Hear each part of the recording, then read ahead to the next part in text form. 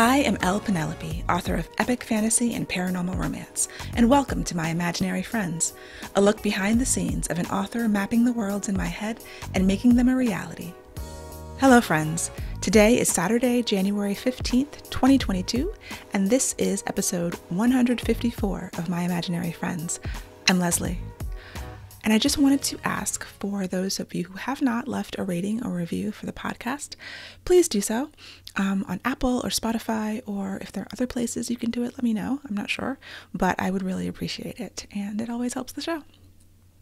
So, this week's best thing was we did the cover reveal for Savage City, which is my next book coming out March 31st, 2022. It is paranormal romance. I am self publishing it, and it's my first self published book in a really long time.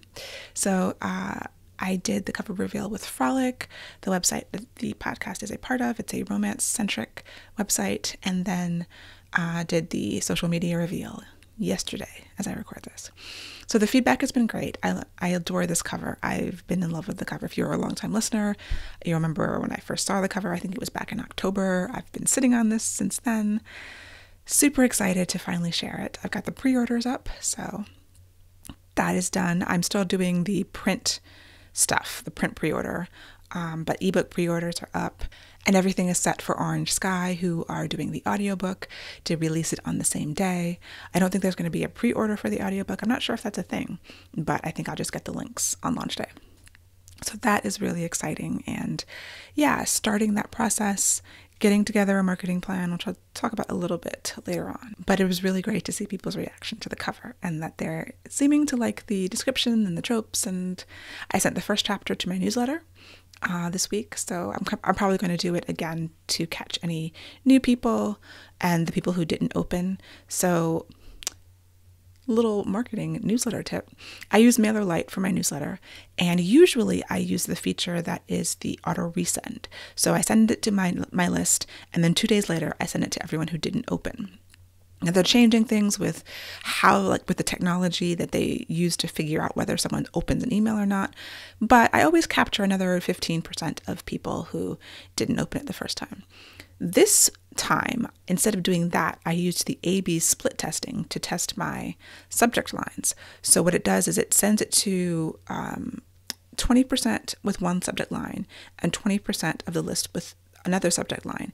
And after two hours, the subject line that had the most opens gets sent to the rest, the other 60% of the list. And that was just something different to try. Um, I'm trying to do a little bit better with my subject lines. I think the one that won was had the word dragons in it. I can't remember exactly what I wrote, but that seems to be um, people like dragons. I like dragons. That's why I wrote about dragons.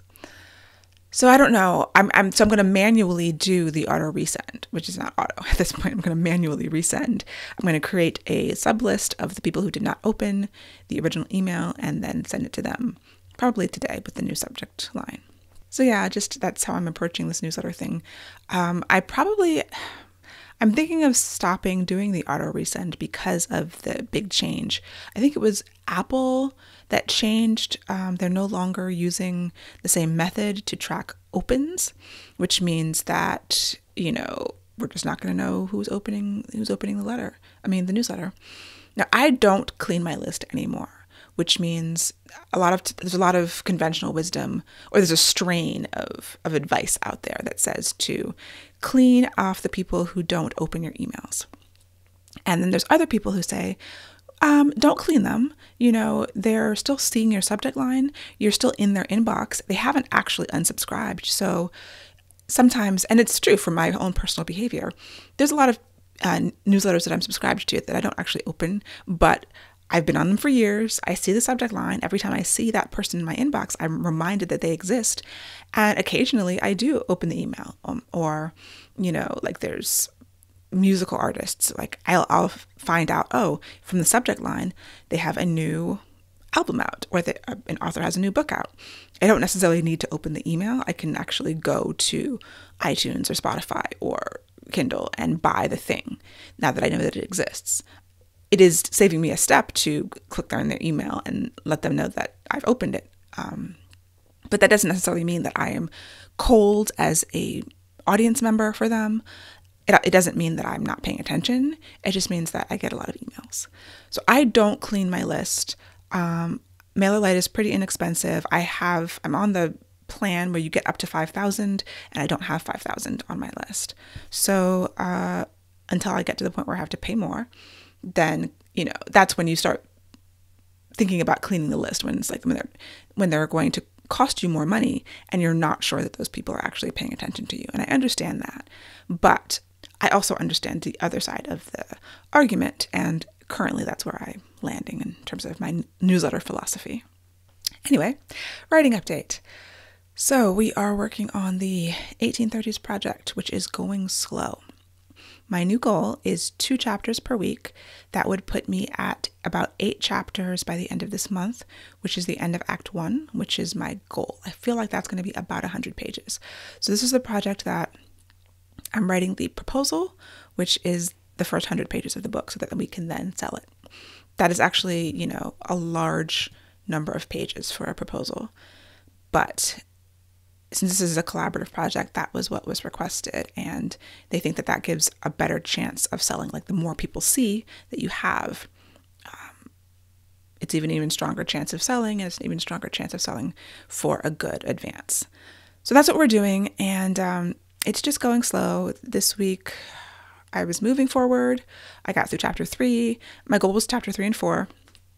I'm going to be working on chapter four today after I finish recording this because I got I was researching. I realized for this chapter I need to really dive into this magic system and I need to really know the mechanics of it and I had to create that.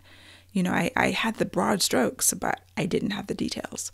So for me, that means sort of going back into the research. I'm basing it on something real, but I'm fictionalizing it and, you know, fitting it into my worlds that I've created and these characters and these themes and the tone and all of that.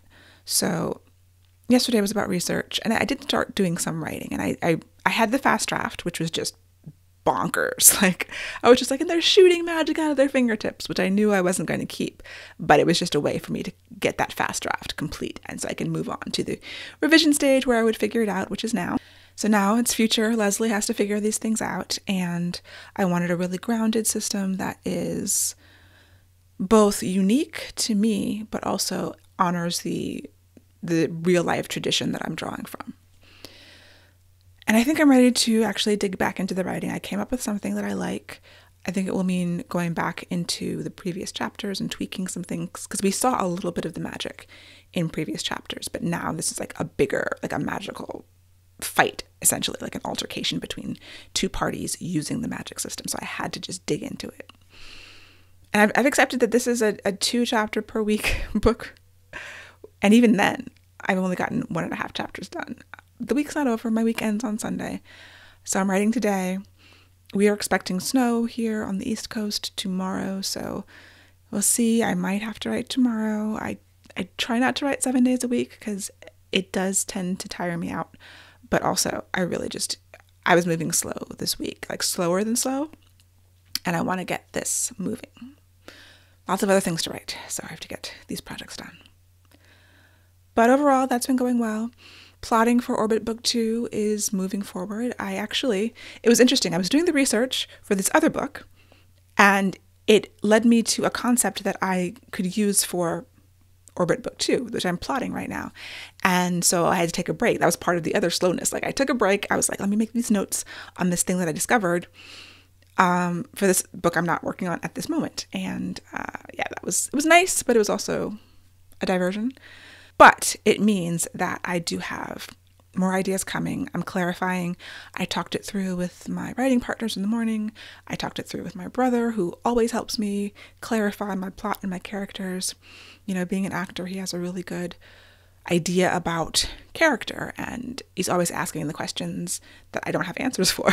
like, what do they want and why? I'm like, yes, that's a good question. I should figure that out. So everything's moving forward. I wanted to let you guys know about a new author podcast that is that has started. It's called Real Talk for Writers. It's by author Talena Winters, who is a listener to this show. So shout out to Talena.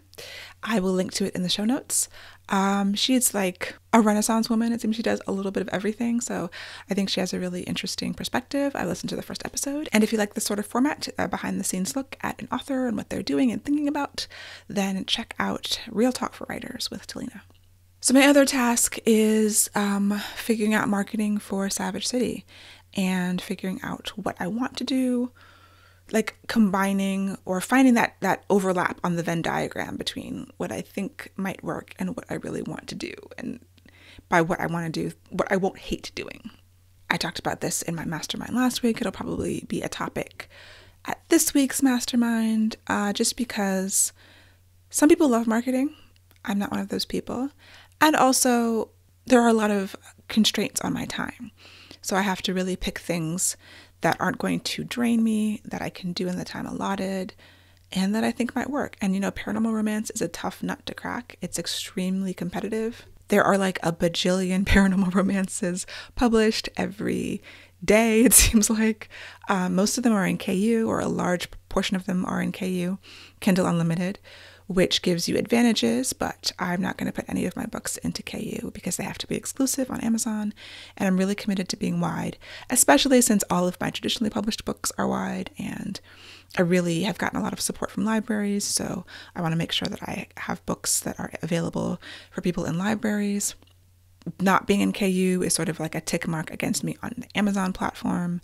Not publishing fast is another tick mark against me. There's there's obstacles in those ways. So I just have to lean into what I'm good at, what I enjoy, what I don't hate, and um, do my best. And it's true, that's not the only way to do it. There are people out there who are really successful selling a lot of books, um, being wide. Um, there are people really successful, slower writers. It's just not the norm. It's not, um, I think those people are probably outliers as far as I know. And you know, maybe I can be another outliner, but I, I know that I have to do what feels right to me.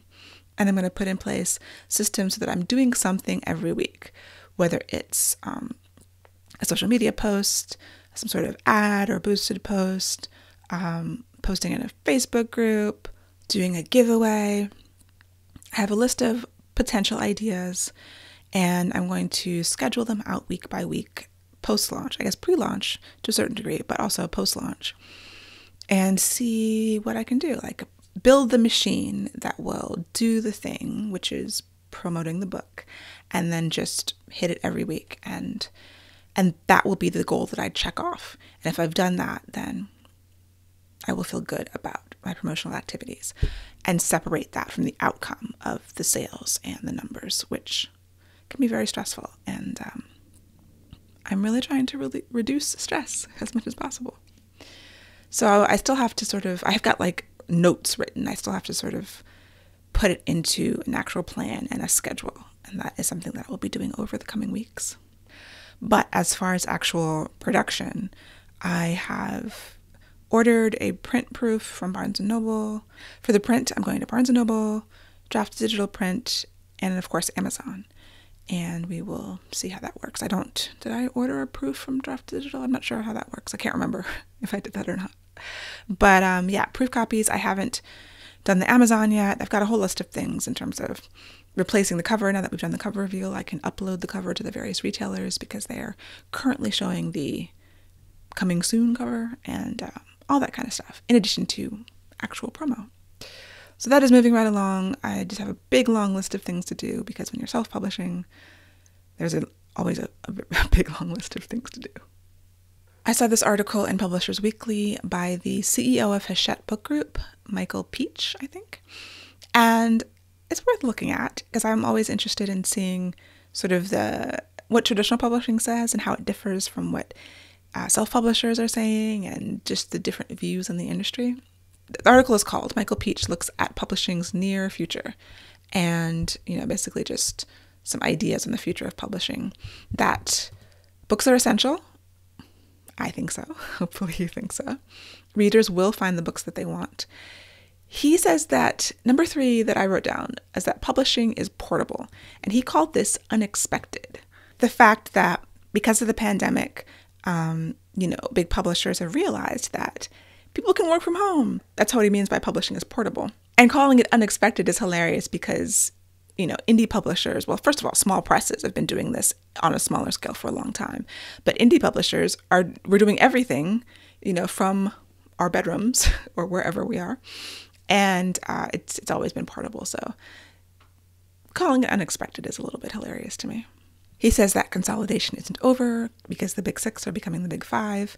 So what are they going to call Penguin, Random House, Simon and Schuster if that deal goes through? No clue. Online sales will keep growing. Print books are here to stay, and so are bookstores new marketing skills will become essential. And he says, quote, our ability to speedily join and influence social media conversations will become even more crucial. I wonder at traditional publishing focusing their marketing on TikTok, which seems to be happening a lot. That doesn't seem like the best idea to me. I mean, TikTok sells books amazingly, but it's completely organic. You can't game the system there. And um, I don't know that they understand that, which is concerning.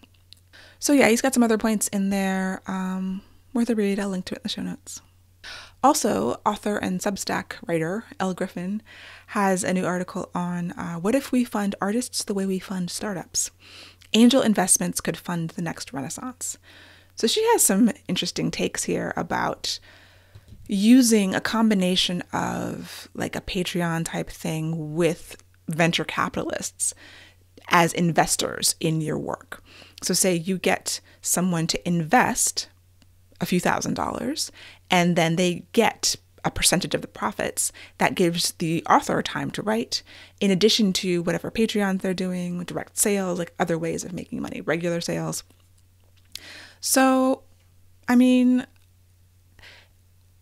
we have to look at sort of innovative, out of the box ways of making a career, of selling books, and direct sales, like I'm doing direct sales on my website.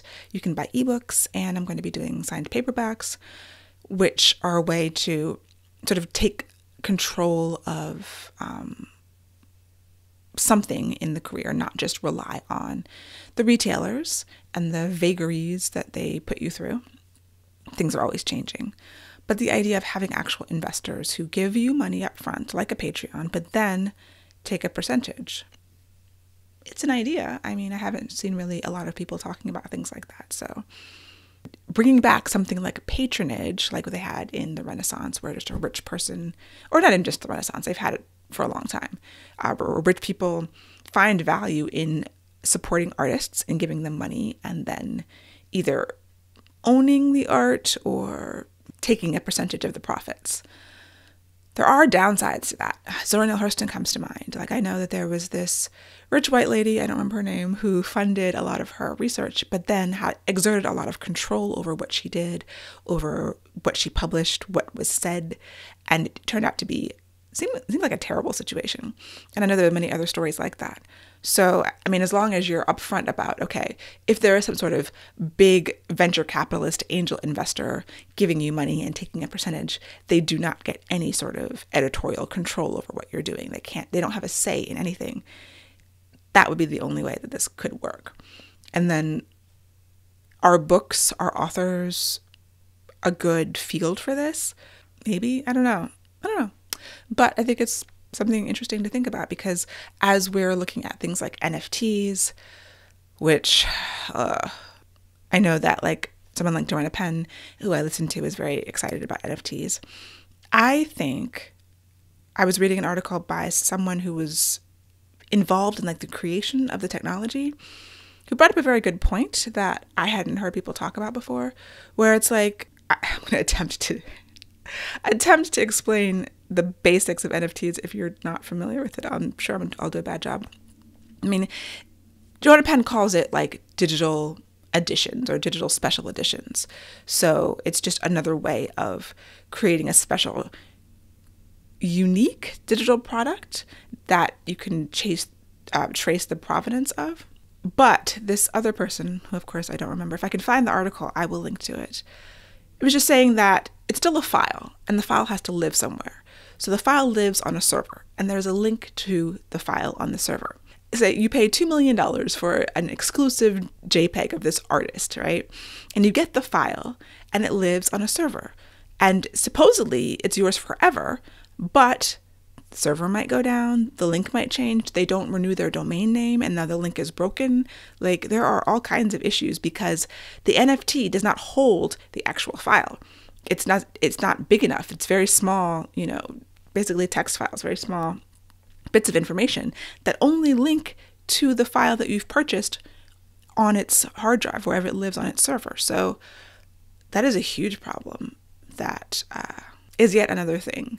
Aside from me just not getting it, like I've listened to a lot of podcasts, I've seen news reports. I still don't get it. I don't get it.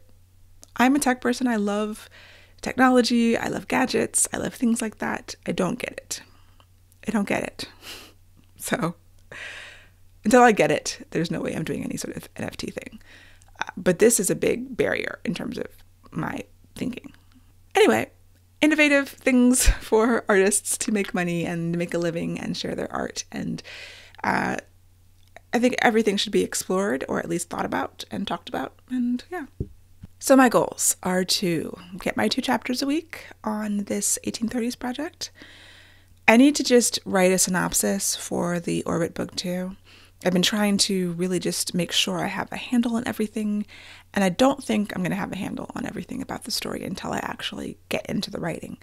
So, what I need to do is give a synopsis to my editor to just get the sign off and start writing, which is what I want to do in February. As soon as I finish this 1830s project, I'm diving right into the Orbit Book 2. I'm really excited about it. It's just everything is slow. My brain is slowed down, I think, or something unique about these projects. Like every book is different. Even though I, I have a much better handle on my own creative process, each book has its own needs and apparently its own timeline. And so I'm doing my best to wrangle it into my timeline, and we are going to have to duke it out, I guess. but yeah, those are the goals. And they continue with the marketing of Savage City. So if you're listening to this episode the day it drops, it's MLK Day. And uh, yeah, we'll be singing Happy Birthday, the Stevie Wonder version, and, you know, meditating on, on freedom, hopefully. And I will talk to you next week. For episode show notes and to sign up for the Footnotes newsletter and get the show notes in your inbox, go to myimaginaryfriendsshow.com, subscribe wherever you get your podcasts, and watch the video episodes on YouTube. I would really appreciate a rating or review to help support the show. And My Imaginary Friends is part of the Frolic Podcast Network. For more fantastic podcasts, go to frolic.media slash podcasts.